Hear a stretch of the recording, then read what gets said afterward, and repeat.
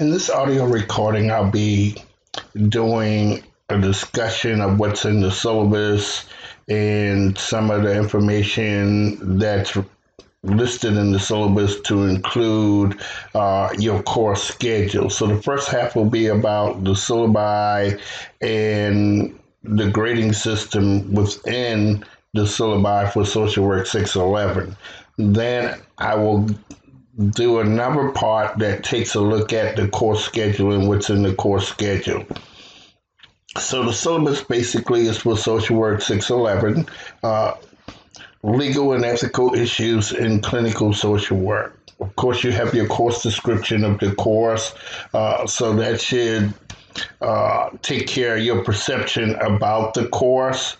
In addition to that, you have the prerequisite. Of course, the prerequisite is just your acceptance in the program, in which all of you have already been accepted in the program.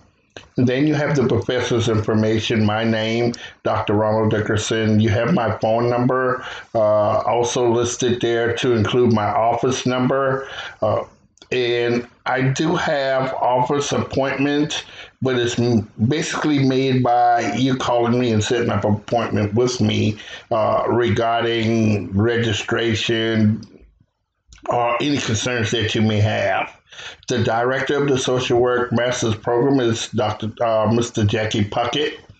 And below that, you'll have your textbooks that's required for the course. And the textbook Ivey and Ivey is a ebook that's already embedded in Blackboard for you.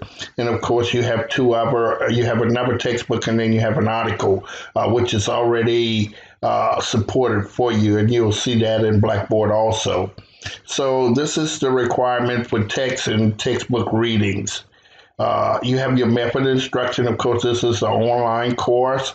Uh, so basically, your attendance within the, the courseroom is is necessary. And then you have your statement of uh, expected incoming students competencies uh, for the social work program. You have your social work uh, program standards. Uh, in this master's program, you must maintain a 3.0 or higher. Two C's in the program will basically have you removed from the program. So it's very important for students uh, to do quality work, applying critical thinking, being very thorough with their assignments, and using evidence based practice to justify uh, what they're saying. It's not about assumption, it's about utilizing evidence based practice to justify uh, and support your writings. So just just be attentive to those things because it's going to be very important for you to uh, actually have a clear understanding uh, of what you're saying and supporting it with a peer reviewed article or evidence based practice. The next section of the syllabus look at uh, learning outcomes and uh, your competencies, your core competencies in the BSW program before in the syllabi, we would ask you to review your competencies. Well, in the master's program, we're not only asking you to review the competencies, we ask you to have a clear understanding of the competencies and how it applies to each one of the assignments that you're going to be uh, doing in the course. So when you get to field in relations to doing a learning contract, you're going to list the nine competencies, and then you're going to list the behavior that you're going to uh, demonstrate, and then you're going to be telling uh, the field instructor what assignments that you're going to be doing to justify meeting those particular competencies. And of course, when CSWE comes in and uh, evaluate the program, they may ask you a question. Give me an assignment that you're working in field. I want you to link that assignment to one of your competencies and tell me what's in that competency. So it's important for you to have an understanding of the competencies. I always tell students to print out the competencies, and once you print it out, put it in a binder. That way, you have something to go back to. Uh, and even when they ask that if it's virtual, uh, if it's face to face, it's okay for you to say, "I'm doing a biopsychosocial assessment." And that is associated with the competencies that look at engagement and assessments of individuals and you're going to tell them what competency that is. And then after you tell them that, you're going to say uh, you're going to assess an individual uh, to address any concerns or issues they may have uh, to support their well being. So, if you look at competency one, it talks about demonstrating ethical and professional behavior. And so when you look at that, here are the student learning outcome practice for those behaviors. Okay, making ethical decisions by applying standards to the NSW Code of Ethics. So how are you going to do that? So in other words, you're going to be very attentive of uh, the NSW standards. So you're going to have a, a understanding of self. Uh, and so this first assignment talks about an email, introductory email that we're, going to be talking about you. Okay, and so that's one of the ways to say you're going to meet this particular assignment. But of course, when you get in field, you can't say you're going to do an introductory. You're going to have to say uh, something that you're going to have a clear understanding of self uh, to ensure that uh, you are not uh, conflicting bias beliefs on the client. So that might be one way of explaining it in your learning contract, but you'll get more as we go through the program regarding learning contracts and how it applies to it. Some of you may have already gotten emails from the field instructor that asks questions about where you're planning on doing field. Well, she's doing that for two reasons. One, to look at agencies in those areas to address your wants. Two, to make sure that those agencies can meet the qualification uh, in accordance to CSWE, where they have a social worker that will be supervising uh, your field experience. So, competency is a list of competencies with the assignment that you're going to be doing in this particular course to meet that particular competency. So, throughout this listing, some of the competencies, let's look at uh, competency four, where it says engage in practice inform research and research inform practice. Well, we have an APA quiz in there that you would have to look at uh, with a textbook uh, online on uh, the APA format style of writing. Uh, in addition to that, you have what we call a pre and post test that you will be taking in this particular, well, you'll be taking in all of the social work master's courses. You will have a pre and post test. And that's just another form of evaluating uh, your understanding of social work practice. So that's going to be important part of it. Uh, it's going to be in Blackboard, so you're going to be taking the quiz in Blackboard. However, the quiz will not be uh, a part of your final course grade. The post and pre-test is just an evaluation tool that we're using to evaluate your understanding of social work practice. So it'll just be used to evaluate that uh, for CSWE. It will not be used to determine the grade. Uh, for instance, your pre-test score may be lower than your post-test, which is expected because starting out, you don't have an understanding of what's completely in all the courses. So how you do on the pre-test is not going to be of important value. It'll be more as a baseline. So when you start in the course and at the end of the course, then we expect your post-test score to be much higher. Uh, so there, there will be parts in the course where we'll be talking about some of the questions in the pre and post test where I'll post a discussion for you to give me your understanding of that particular question in the post test. Uh, so just don't be concerned too much about that. I may even email you uh, the questions for the pre and post test for you to look at later and, and answer and be able to respond in detail with those questions. Uh, once again, the pre and post test will not impact your final course grade. It's just used as an assessment tool to determine your understanding of the, the social work practice. Uh, when you look at competency seven, looking at assessing individuals, uh, families, and groups, you have two case study assignments that you're going to be doing in the course. so you have competencies that links to the assignment.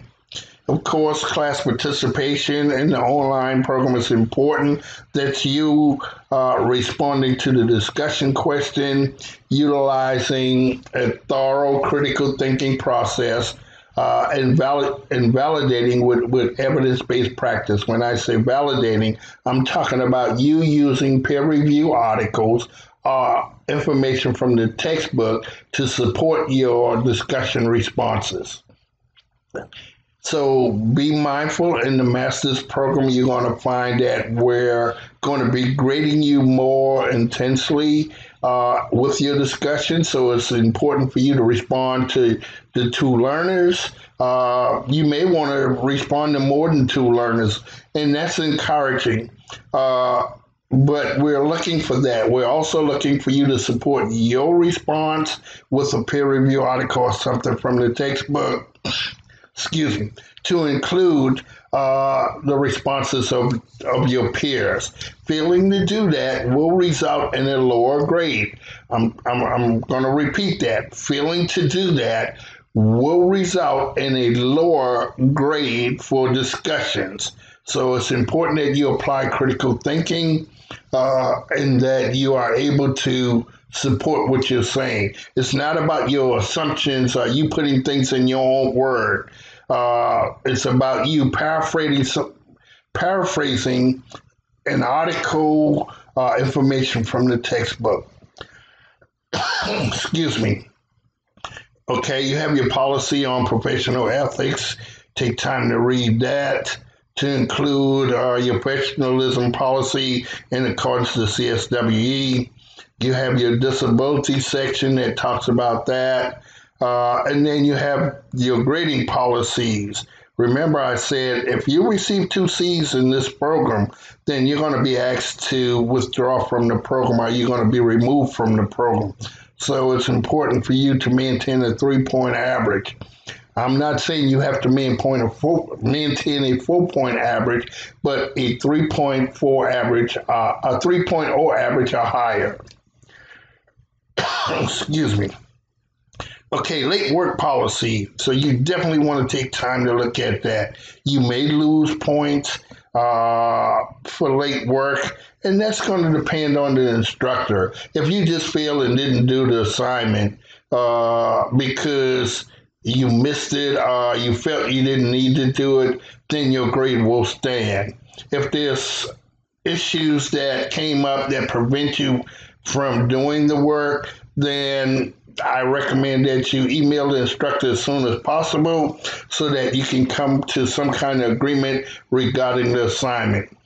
Also, posting in discussions. Let's say you forgot to reference a discussion. You can't come back and do another discussion and put the reference in because you forgot it. Because once you submit work, your work is submitted based on evaluation. If you didn't have a reference in your initial uh, submission, then it can be considered as plagiarism.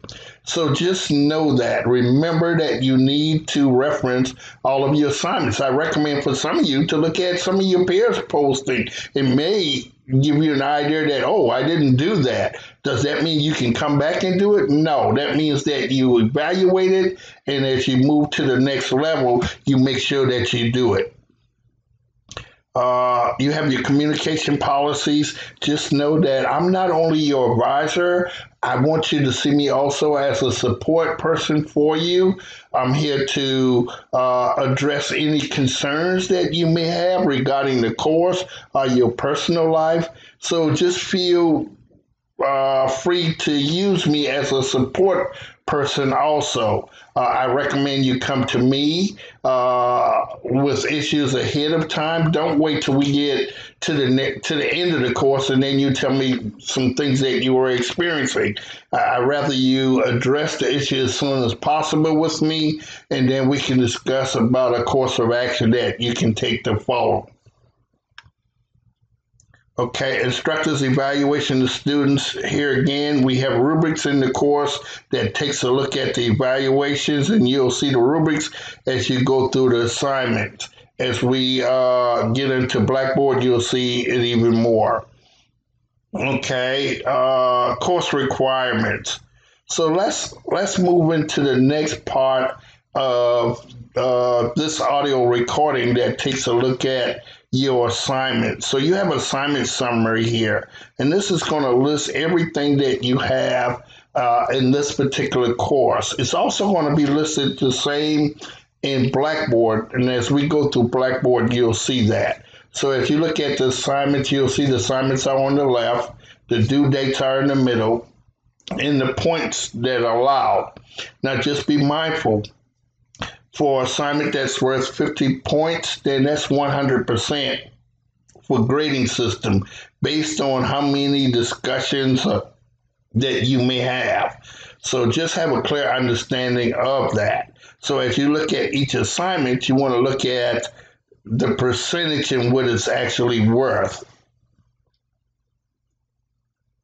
Okay, so let's go on to the second part of this recording that takes a look at the course schedule.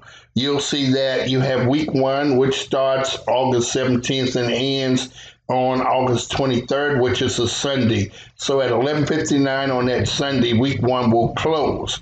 So within week one, you have uh, a chapter read the chapter readings uh, for chapter one. You have the chapter readings for chapter two. And you also have the DSM 5 that takes a look at uh, neurodevelopment. Okay, if you don't have the DSM 5, then you can go online and look up the DSM 5. I recommend that you uh, use cheapbook.com or Amazon and actually go ahead and purchase the DSM 5. Now, there's another textbook called DSM 5 in Action and the reason I say that is because it kind of breaks it down a little bit better for you and it gives you a better understanding of the DSM 5. Now, how important is the DSM 5? For all of you who are planning on doing licensure, then you're going to need to know the DSM 5. I'm not saying you need to know it in detail, but you're going to need to know some of the information in the DSM 5. So I recommend that you purchase this uh, to help you throughout this course because there are other courses that you're going to be using the DSM 5 also. So, again, uh, let me just say I recommend that you look for the textbook that says DSM 5 in action. Uh, you can email me and I can give you some more information about this particular text in regards to the publisher. I recommend that you purchase this book. Uh, it will help you not only with licensure, but it'll also help you with uh, basically maneuvering some of the courses that's in this program. Uh, I will be trying to give you uh, some other articles along those lines. That doesn't mean that you shouldn't purchase this book. I truly recommend that you do it. Okay, so week one, you have your discussion. So I'm looking for you to answer the discussion in detail. Uh, and you'll see that it's more than one discussion there. So I would would like for you to answer this in a Word document rather than just typing it in Blackboard like you did in the BSW program. And the reason I said if you do it in the Word document, I can download that Word document and give you feedback within that uh, document. Uh, and if you post it in Blackboard, it, it doesn't allow me to do that. Uh, so your critique uh, won't help you, and, and you'll be looking at me, well, why did I get a lower grade? Well, I couldn't give you feedback because you posted it in the discussion section of Blackboard rather than doing it in a Word document. So I recommend that you do it in a Word document. I can give you feedback from your writings uh, via grammar errors, via APA style formatting. Uh, so just just be aware of that. And so if you were to do this first discussion, well, you should start off with what the question says in the first discussion and then respond to the question and not just respond to the question and then tell me to figure out what question you're responding to. So, uh, any good style of writing would address the question first and then respond to the question below the question. Uh, and so you have two part questions there that you're going to be responding. And some of it actually more than one question. It actually to look at other things also. So again, this is where I say your discussion posts need to exhibit critical thinking. It needs to be very thorough, where you're tentative in addressing all the questions, and you need to also uh, support it with evidence-based practice. So if you look at the readings and assignments to the far right, you'll see what you have. You have your introductory email and you have your discussion question. And then you have your understanding of the DSM-5 that looks at neurodevelopment disorder. Week two, you see the similar things there. And in week two, you see that you have your APA quiz. Uh, when we get in Blackboard, Blackboard, I will show you uh, your pre and post quiz and when those are due. uh, so as you go into week two, you'll see week two starts the very next day that week one ends. So I have the dates there, and you'll see that week two ends on August 30th. Uh, again, you have chapters one and two and what those exhibit. And then you see your DSM 5 that looks at bipolar disorder. And you'll find that that's also on a certain page within uh, the DSM 5 textbook. Uh, week three follows that, where you have week three starting on August 31st and ending on the 6th of September. Within week three, you have a discussion. You have chapters three and four, and then you have your DSM 5 that looks at obsessive compulsive disorder, OCD. Uh, so here again, you can see why it's important uh, and why I recommend that you purchase the DSM 5 in action, uh, where it'll give you a better understanding of what's required. as we go into week four, well, you have a continuation of week three uh, that looks at uh, chapter three and four in the other, the other textbook that you actually have. Uh, so as we look at week four, your week four starts on uh, September 7th and end on the 13th. Uh, and then you have your case study there that you're going to be doing in that session. Uh, you have your discussion question from Ivey and Ivey uh, that takes a look at uh, which, what, how, and why, uh, and could questions would you ask when interviewing. I also supplied some handouts for you on the Getting Started page that would help you with this process also.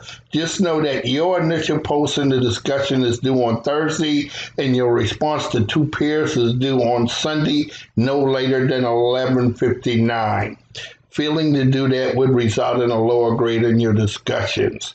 So you have your your chapter readings uh, from both textbooks. Uh, that you need to be looking at when you look at uh, your reading. So it's, it's required that you uh, have an understanding of both textbooks.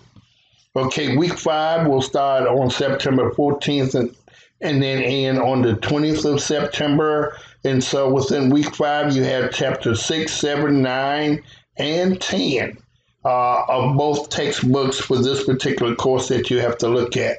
And of course, you have your Ivey and Ivey discussion questions where you have two questions that you have to respond to.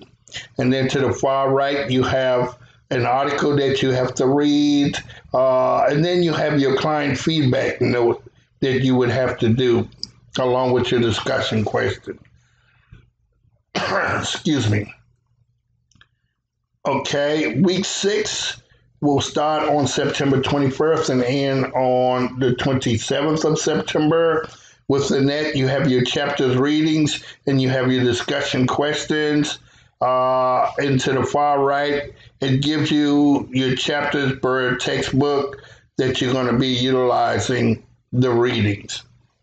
And then you have another one of your assignment, media, myths and reality paper that you would have to do. You have your DSM 5, looks at disruptive impulsive control and conduct disorder. You have your DSM 5 that's going to take a look at substance related and addictions disorder. so, again, uh, you see how important the DSM 5 is going to help you. I'm going to be honest with you. The, the regular DSM 5, uh, it's a little difficult to understand and find things when you're looking at it. But if you get the, the DSM 5 in action uh, book, it'll, it'll give you a better understanding of what you're looking at when we look at the DSM 5. Week seven, again, you have when week seven starts. Uh, and then you have also your uh, chapter readings in your assignment to the right. In week eight, you have a similar uh, chapter readings when week eight start and the discussion that you're going to be doing. Uh, just know that in Blackboard with all the assignments, uh, it's going to be an, a sample assignment for you to look at in each one of it. And also in the course schedule, you'll see similar things. Like, for instance, uh, course requirements and assignments. And it's going to be discussion about each one. So it's a sample of your introduction email uh, that you're going to do in the first week. You have information about the APA quiz. Uh, and so uh, it talks a little bit about you utilizing Purdue OWL to help you with the APA quiz. Now, the APA quiz will be a part of your final grade, but the pre and post test will not. Okay? As you look at your case study, it's a format example here for your case study in APA format where it gives you an example of the running head. But when you go to the getting started page in Blackboard, I have a template already there for you. so you got your case study uh, that you're going to look at, and it talks a little bit about uh, the case study in itself. Uh, so this is just an example of APA format and how it should be utilized. Okay, uh, you have another case study that you're going to be looking at uh, in assignments that's listed there for you. And then you have your client feedback note uh, basically, below that is an example of what that should be looking like. Uh, client feedback note, you, you, have to have your, your counselor name, which would be your name. Uh, you can put John Doe. I recommend that you just put your name. Your client, you know, which is a fictitious name, you need to make sure that's there. You definitely have to make sure that the date of the session is there. And so you're going to be responding to the questions below. What are my feelings about the session? Okay, what did I learn? Uh, what I did not like. Also, uh, what I wish would have happened. Okay. And so you're going to be responding to those questions as you look at that. You have the information about your media, myth, and reality uh, rough draft assignment and it gives you some response that you're going to be looking at your title page, your demographic page, your interviewing questions, uh, the body of the paper uh, pages to include references. Uh, you also have different things you're going to be responding media, myth, reality, and then you're going to have your personal reaction. So it's going to give you some information about how to go about doing that. And the rubrics is going to help you a little bit more because it's going to tell you what you have to have within your paper. So this is just going to give you some information about that. And here is the APA format. You're going to have your running head with your title page, your number, then your uh, basically title in the center of the cover page. Then you're going to have your dem- demographic information, uh, and so on, demographic. And then you're going to be responding to these questions. Uh, when you look at particular client or what have you. And you're going to have the demographics for social work B as you look at that assignment, and then the interviewing questions goes here. Uh, now, one of the things that I I really have to tell you, I look for you to apply critical thinking as you go about these assignments, and not manipulating the sample that I gave you. I want you to apply critical thinking. Look at uh, some questions that you would want to respond and not just say, well, I'm going to put the same question in. I'm going to do the follow example. Those were just suggested interview question topics that you can look at. Uh, paper three, well, your paper title goes here again, where you're looking at the media level, level one, you're looking at the myth, then you're looking at reality, you're going to respond. And here again, you're going to look at uh, social work A, level two, uh, social work B, level two. So you're going to be in, you're going to be looking at those. Then you're going to have your reflection and your reference. So I recommend that you read the assignment thoroughly, ask, see what it's asking you. Uh, so let's look at step one media. Okay, students will find two to three representative representation of his social work uh, from a variety of media sources, uh, movie, television programs, YouTube, fiction books, or what have you.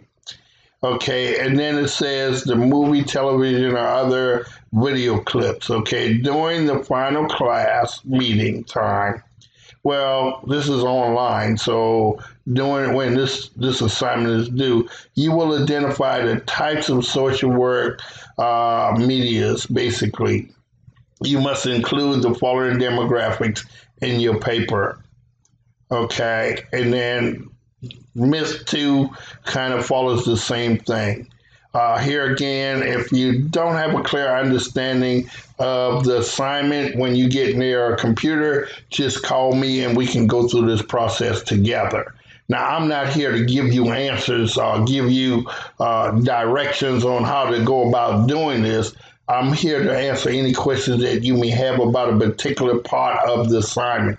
So do not look for me to give you the answer uh, for the assignment, but to guide you in completing the assignment, I can definitely do that. Okay, so you need to read the direction uh, completely so you can have a clear understanding. Then you have to do a presentation, and your presentation should have a cover slide uh, with the following information. Then you need to have a media slide, a myth slide, an interview question slide. So those are. It's just going to be a repeat of the assignment that you're going to actually be doing in itself. Okay, and this is just a format to look at when you look at that. So the myth on this slide, uh, share information about the myth you heard in uh, bullet points format. So, what was some of the myth that you found in the media? Okay. Uh, then on the other side, you have the media link. Okay, where you're going to have uh, interview questions that you're going to be posting on this side for both social work A and B. Okay, this is social work A, this is social work B. And then you're going to have your reflection and your reference page. So this is going to help you get a clear understanding of the assignment. Uh, again, I must tell you, I'm, I'm here as your advisor. I'm also here as a support person for you and utilize me to help you, to help guide you through this process. Uh, don't feel that you have to come to me. You can go to some of your peers for a better understanding too. But just know that I'm here in the likelihood that you don't want to go to your peers. You know, I'd rather you go to your peers so that you can get their understanding and then come to me if you would like to. But that's totally up to you. Okay. On the other part of the syllabus, you have uh, information about limestone college policies, statement of non discrimination. So it's very important for you to have a detailed reading of the assignments as a whole. And if you feel that you don't have a clear understanding of the assignment, then call me and we can talk about it a little further. That's going to exclude uh, and my discussion about the syllabus and what's in the course schedule. So the next recording that I'm going to do is a recording of what's in Blackboard and how uh, it relates to the assignments and where things are in Blackboard. So this is going to end this audio session.